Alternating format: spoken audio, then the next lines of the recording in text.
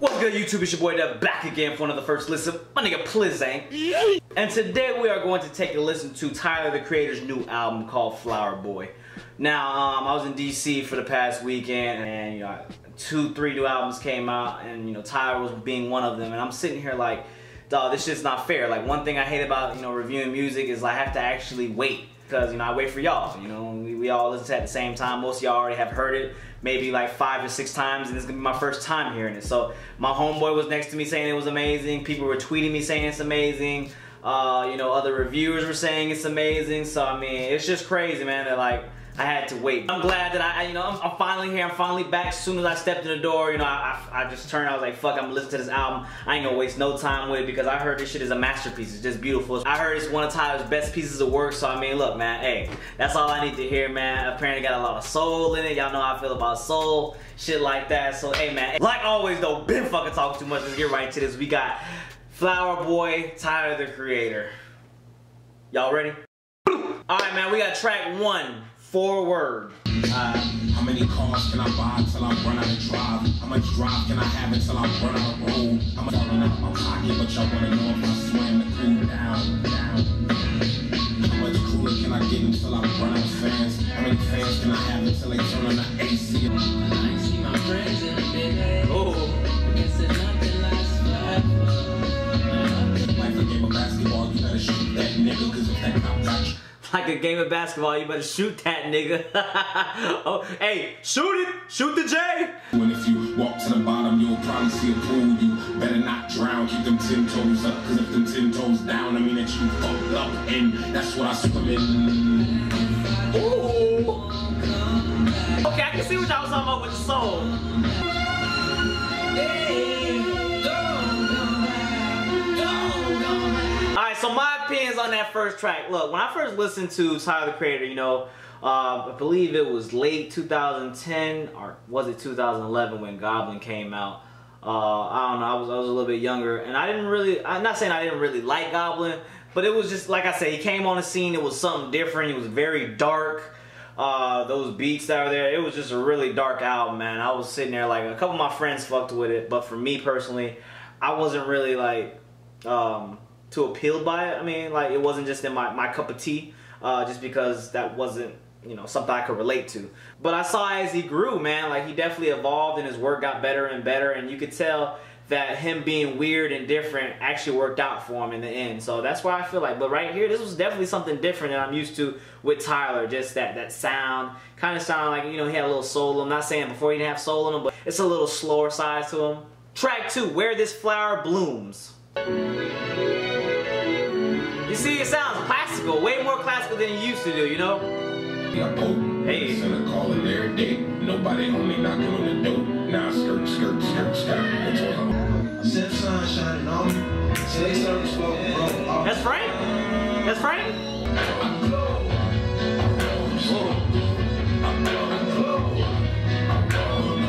Nobody fucking with T, but that just may be my ego. But don't be too cool, you might freeze because niggas get stuck in the cold. Shit weighs a ton. Water your guard on my now boy T, nigga, that's me. Rooted from the bottom, blooming to a tree. Took a little while, nigga, making leaves. Damn. My branches, family can eat. Favorite color green, energy is strong. Giving niggas life, early in the beach. Drop. I feel like so far, you know, with these first two tracks, I feel like he's opening up a new side to us. You know, like not saying that he wasn't very lyrical back in the day, because if there's one thing I always agree with with Tyler was he had lyricism. Like his lyrics were always there. Um, I think before with me, when you know with Goblin, I just didn't like the the beats and the flow. Like I just think I, but he always does some real shit. This track, these two tracks right here, man, very classical, very slowed down, very opposite of what Tyler usually does. I mean, like this is, this reminds me of that one track. Remember we had with Frank Ocean back in the day with with She. Uh, I feel like this is like gonna be a whole album like that. If you guys, if everybody, what everybody's telling me is true, where it's gonna be all classical and whatnot. So these two tracks right here, man, just is something different that I've heard from Tyler. Like, yo, and if he can show me that he can do this for these next 14 track, I mean next 12 tracks, I'm like, okay, he might, he, he really might be on to something. He really might be on to something. Track three. Sometimes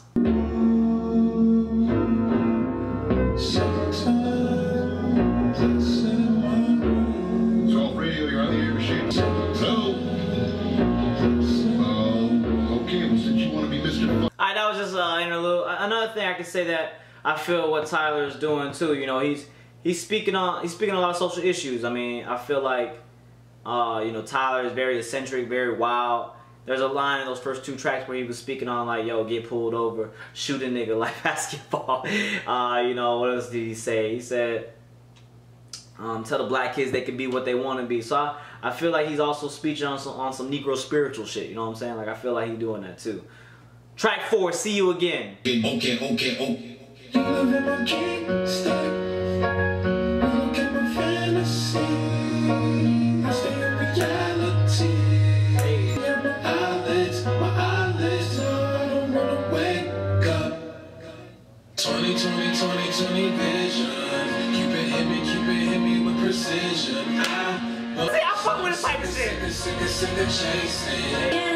Look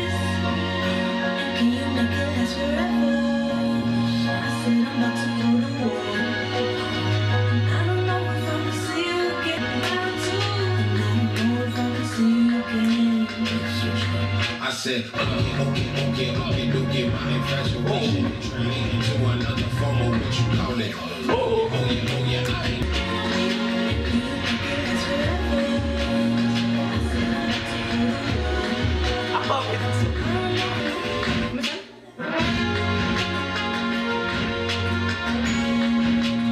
Oh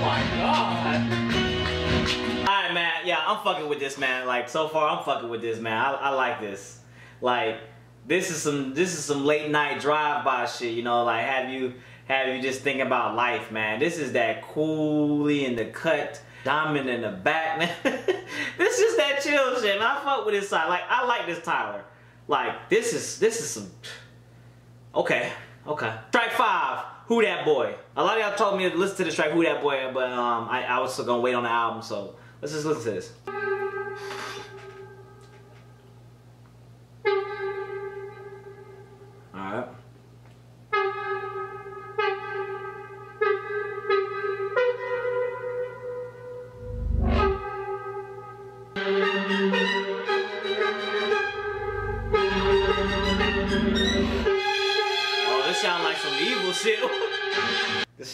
Kind of scared. You know, I'm looking back like, ooh, ooh, who behind me? Yo, about to do me, about to do me, bro. Yo, Who that boy? Who him is? In that neck. I swear. Stand up, got him, don't need no chair. But where the fuck him? Cause nigga, I'm right here. I don't shop at the mall. Watch the death like you got dressed in a coffin. Carved overalls in a straight shirt. The Yeah. yeah. swag like a broken faucet. It's running. Nigga, I'm running. Yeah. Shit, that Cherry be the bomb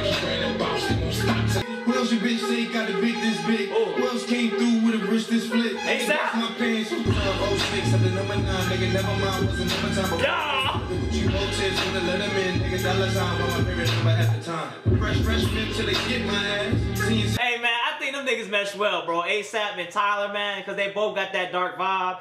And I feel like since he, since Tyler being, you know, he laid back on this album so far, I think this is a perfect feature right here with, with, uh, with ASAP. Because you know, we ASAP he dark too, but he just chill. You know what I'm saying? ASAP just chill as fuck. being that nigga ain't ASAP Rocky. I just say ASAP because I don't want to be lazy to be Rocky. ASAP Rocky, I'm ASAP. You know? he is. Who that boy? Who him is? looking for 95 Leo. My neck is on feel. Yeah, Dr. my way way. Well, that's McLaren at 0 to 60 and 2.11. I'm gone. Damn. 2.9 Okay. Get a little Spanish in there, you know what I'm saying? Trying to roll them R's like perro, perro, you know what I'm saying? Rodrigo. Alright man, just as I said, you know, say, as soon as I say that album's so uh, slow and whatnot, you know, he, he puts a track on me right there with Who That Boy, Who Him Is, featuring ASAP Rocky, man. I like that, man. I, I feel like that that beat at the beginning though, that shit was some dark shit though. That shit had me looking around. The light is out, but I'm still looking around like, okay, uh, this has been going on for a minute. Uh, this this kind of creepy. But then you know he came in with the beat. I was like, okay, you know he was bringing you in, bringing you in. I was like, I feel it. Track six, pothole. Niggas ain't my right hand. To trust only my heart. And that elder white man. His name is Clancy. I fancy him. Gotta give him props. He the reason why dealerships even let me cop. So now I'm speeding and trying to drop away from the fact that she was right. Get out. What up? I to help, but what you want for some, some niggas really don't want for themselves. What I do, I stay, do I go? Y'all hear them sounds, bro? Traffic is picking up. If I don't leave, I'ma get stuck. So I talk about they hoes into the ground. These are all like a show 'em. There's a couple cars and most things that I made and a couple bags. Please, everyone is a sheep. Me alone, wolf. Nobody gon' make a beat. peep. Everyone wants some wolf. Since everyone is a sheep. Now on earth worthwhile, you'll find somebody who love me and raise a couple of lizards. But my vehicle's good for now. That's in a couple of miles. I'll keep it pushing. But my vehicle's good. That's in a couple of miles, okay? Because basically saying this, it's still down the road. You know, I fuck, I, I see what he did there. I like that one.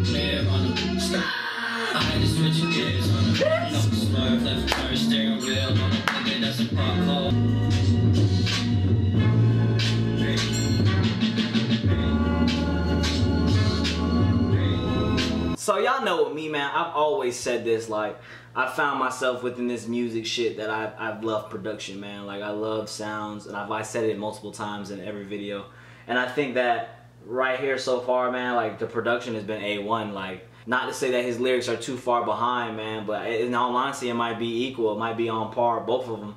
Just the the production is amazing. The way he's flowing over the beat is just crazy. What he's saying, he's saying some real shit here. If there's, like I said, man, Tyler's always had clever word uh, wordplay. It's just wild, man, that he he just this he's showing a different side of him. That's what I'm honestly saying. He's showing a different side. And y'all can say like, oh no, he had a glimpse of it and before. We always knew Tyler could do shit like this. But I'm just saying he's giving he's literally giving us a full fledged soulful album. Like this is some slow shit. Like this is not the a normal Tyler album. You know what I'm saying? Like so this is crazy, man. For me, like this is crazy. Track seven, Garden Shed.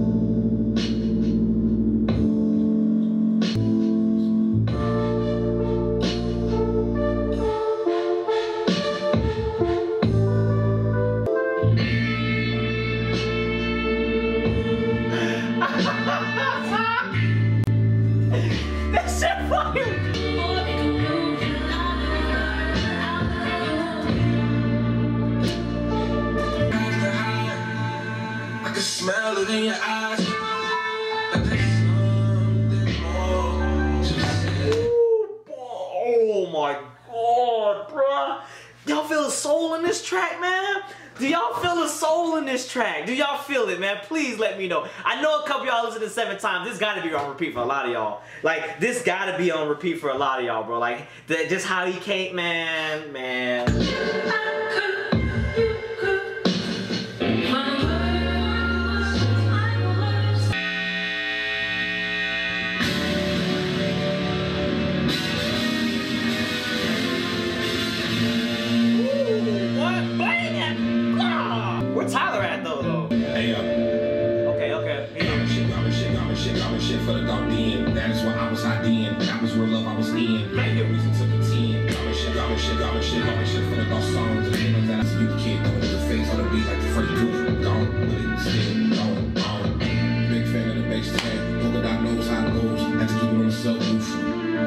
You speak that real, Tyler?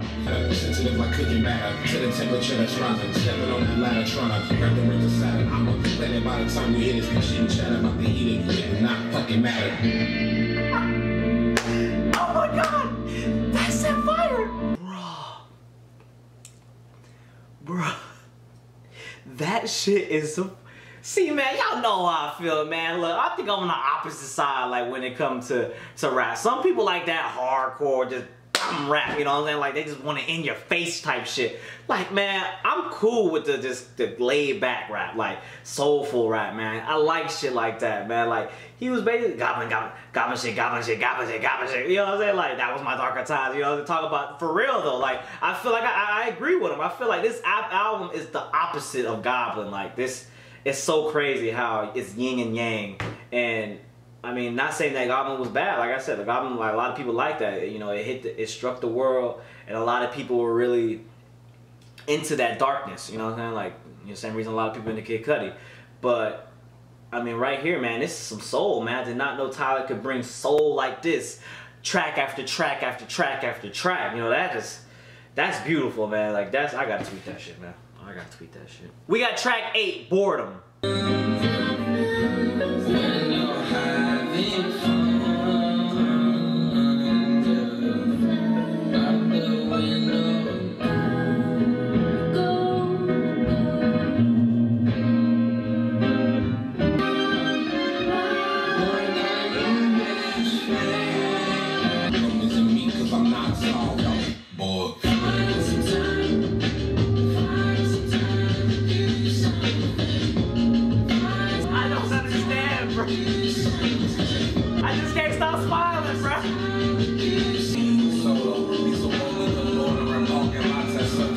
Oh,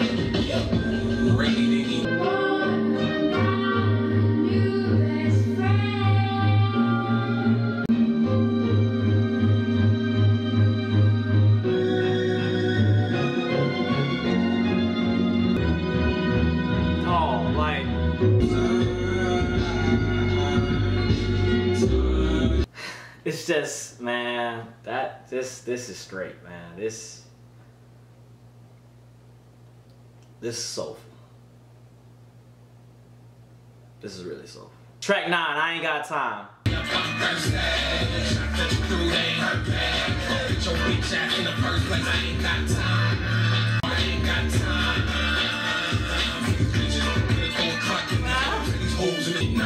You ain't important. I'ma keep sporting. All smiles over here. Shout out to the God. And I just handle all my business Okay, okay, okay, okay. old young young toast black boy, old silly me. I ain't got time. Better talk shit. All right, so at first I wasn't really feeling the track just because I felt like it was out of place.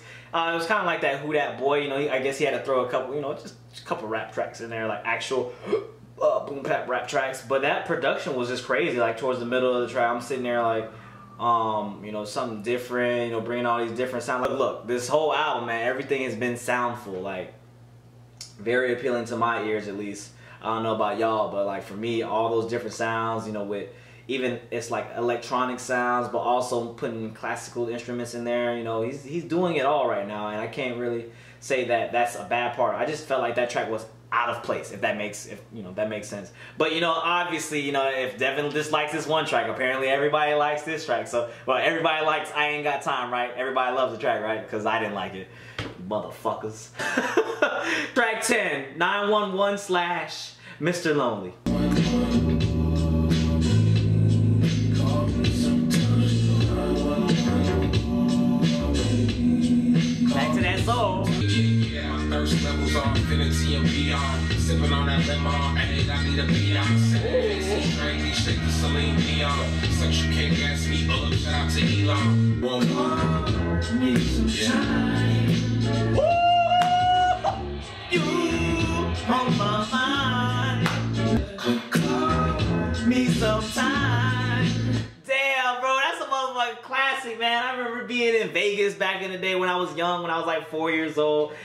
And then my pops to take me to the ice cream shop and whatnot. I used to play the old school jams. Yeah, I'm, I'm not I'm not that old, but I'm a little old school.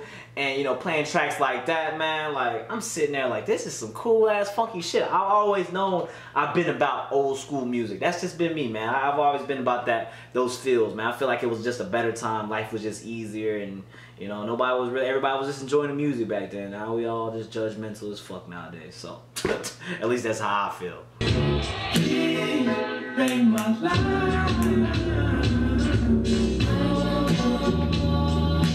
Okay, Tyler.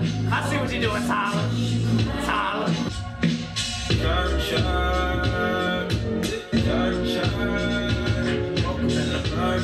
Let's break again. But I keep on dancing and throw them off. I'm going out of moves, cause I can't move to the blues. If you know any DJs, tell them to call me at 9 1. When I call him like nine, one, one. You know, he a New York nigga, so you know when you hang up, you be like one. You know what I'm saying? And then the other person be like one. I know y'all probably man. Look, maybe I just overlooked that. I'm just saying it like that. That was kind of I like that. Kind of like that.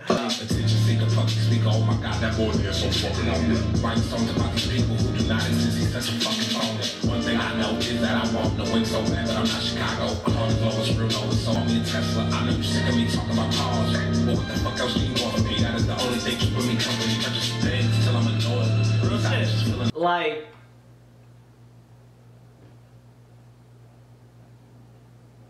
I feel him though, like being lonely. I mean, I've always said this too, like you know, with you know, R.I.P. Chester Bennington and whatnot. You know, um, you know, when you're making that dark music like that, even Kid Cudi making dark music, Goblin was very dark. Um, you know, it's a, it's a lot. It's a lot more than what you see on the surface. You know, a lot of people you don't know any anybody's lives. Everybody think that money is the is the is the savior of everything. Look, money does make stuff easier, but you don't need a lot of it. You know, you just need you need an equilibrium. That's why I say. People need to find equilibrium, a balance between happiness and you know, you know, whether that being working less and making less money, but seeing more family, or was that whether that means working more and and you know just finding yourself. Everybody needs to find themselves. And just because you got a lot of money and you think that you know you're driving the fancy cars and these motherfuckers just just uh, running around and so happy, it's, it's a facade sometimes because you you don't know what's behind the scenes. A lot of people can really be really fucked up mentally and, and emotionally because you know they, they feel alone and you know money can't buy you happiness. They always say money can money can um it can rent happiness, but it can't buy you know like it can't buy permanently. That's what I feel like. So uh, I felt on track, Mr. Lonely. You know what else? What else the fuck you want him to talk about? Like, you, what else you want to fuck? He all he got is his cars, his mansion, his money. Like, yo, I, I felt that. I felt that, man. Track 11, dropping seeds. Like glasses, these all drop their asses. I drop the seed in the panties if it smell like panties. I'm a banshee in the panties, nigga, ask your mammy. Is that Wayne? I'm dropping England, Hey. even if Tyler named the sunflower, no Okay, man. Wayne trying to make a little appearance, man. Look, uh, I always gonna say Wayne is a legend, but I mean, damn, that, hey, that track was a little, it was a little old Wayne esque. I felt that one right there. But like I always said, man, I wish Wayne would have never stopped. I know he had to stop drinking the um the codeine and all that, and you know, kind of like fucked him up in his career. And you know, he had that little phase where he was thought he was gonna die and whatnot. So honestly, like I, I hope Wayne uh, drops Carter Five. I hope we get a Carter Five. I hope it really goes through, and you know, it's not just you know talking for these past like six years or whatever, how long it's been. I hope that Wayne really drops a project for us that we can you know just reminisce. Us old heads can reminisce to Wayne. Track 12, November.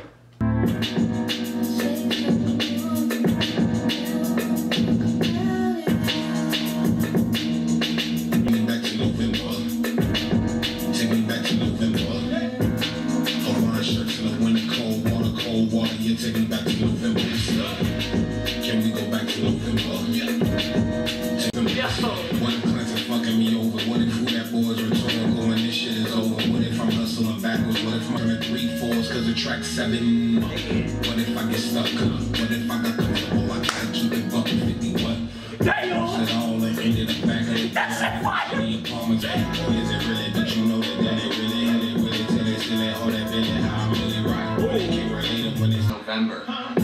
Take me back, take me back, take me back. Oh, okay.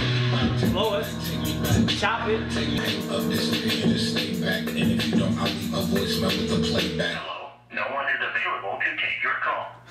Please leave a message after the tone. Hey man, look. That might be my favorite track on the album, man. Like that. It's either that one, Garden Shed, the second part of 911, the Mr. Lonely part, or it might be Who That Boy. That but that November, man, that shit, man. Y'all, y'all he was going in, man. Like, and y'all that y'all heard that beat, man. That nigga was just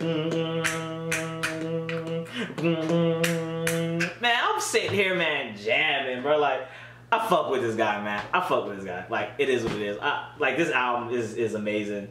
There ain't no bad track on here except I ain't got I ain't got time. And I ain't got time. Not even a bad track. It's just out of place to me. It's just out of place. I feel like it's just it went the opposite direction of the album. I feel like he just put it in there to you know for his rap his his uh, hardcore rap fans. I think he put it in there. But other than that, man, this shit has been beautifully mastered. I can see why it's gotten so much praise. Like I, I honestly can see why I got so much praise. Like it's, it's just amazing. Like I'm literally smiling the whole video. I don't understand. Track 13, Glitter. Cause my self-esteem was high, so I never see eye to eye with y'all nigga. Ayo, uno, peso, never pay attention when niggas gotta sell, so I keep that buck. I ain't getting no fuck, they ain't build me up, so I block 'em like Lego. Hey. Feeling glitter, feeling good and great. Got the burner, got the heat. But I can't, that's when you walk back in. You get trapped in the trace. Call me quick, so wait. Please don't save me. Please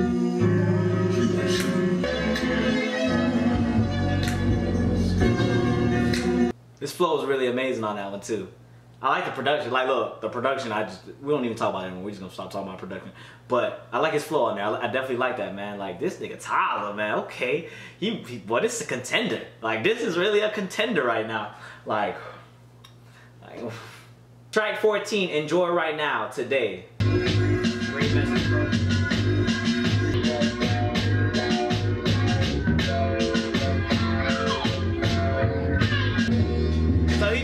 Us a little soul. Am I supposed to freestyle right now? Y'all want me to freestyle? Y'all know I don't rap, bro. I don't rap. Okay, man. I can see that that track right there was just the um. It was just like a little outro track, just giving us a freestyle. Look, man, y'all know I can't freestyle. I'm gonna tell y'all right now, I ain't gonna be one of these people that try to freestyle. I am not a rapper. The only thing I can do is listen to this music with these big ass ears. You feel me? Like that's the only thing I can do.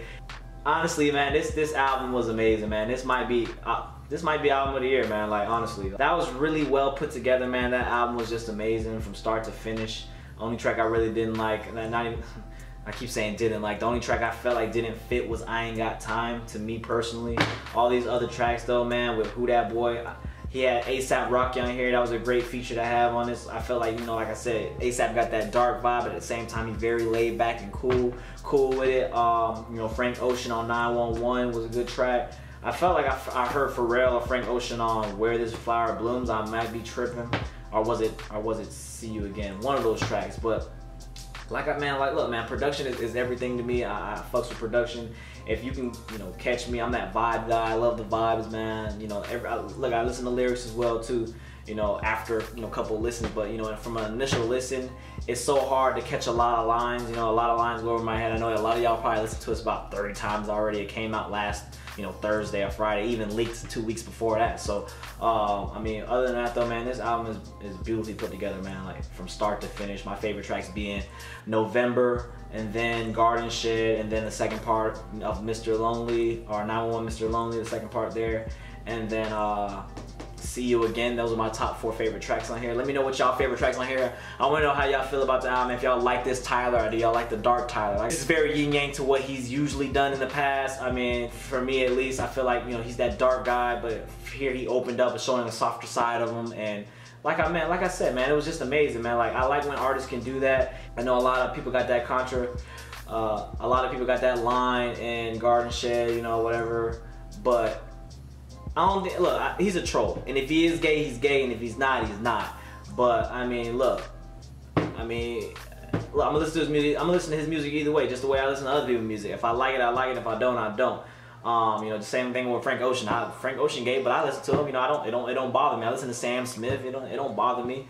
But uh, yeah, man, I'm just here for the music, and if it sounds good, and you know, you can relate to it somehow or somehow way or the other. I mean, look, man, it's just amazing. Like you can't really hate on work like this. If you really dislike this album, I just want to know why you dislike this album. Look, your opinion is not wrong. I just want to know why you dislike it. Let me know, man. Everybody in the comments below, let me know what's y'all favorite tracks. Let me know how y'all feel about it, man. Let me know if y'all fuck with that garden shit like I fuck with it, man. And yeah, man. Life tip of the day, man. Look, if you want to take risk in life, understand that you know every everything you do in this life has a risk. Everything is is is risky.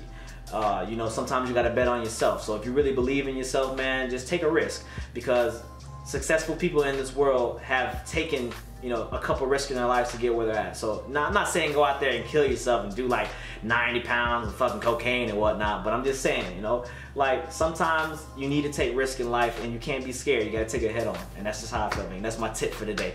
Hey but it's been your boy dev. Don't forget like comment subscribe share. Don't forget to you know subscribe. I think i already said that but i'm gonna say it again because you know i've been slowing down the subscribers. Share the video if you like uh, if you want if you liked it. Like the video if you like it. Please man give me that thumbs up. Let's give me 2,000 likes man. You know help me out. Help me out. I know i've been gone for a while but i'm back on my grizzy uh, you know, I wasn't on a, on a trip in DC, you know, but I got my head right. You know, I'm back on my grizzy. I need to drop a lot more albums more often. Uh, I got a lot of time off from work, so yeah, we gonna keep it like that, man. Hey, don't forget, man. Follow me on social networks too. Let me know what y'all want to hear. And until the next time, we out. Love y'all, man.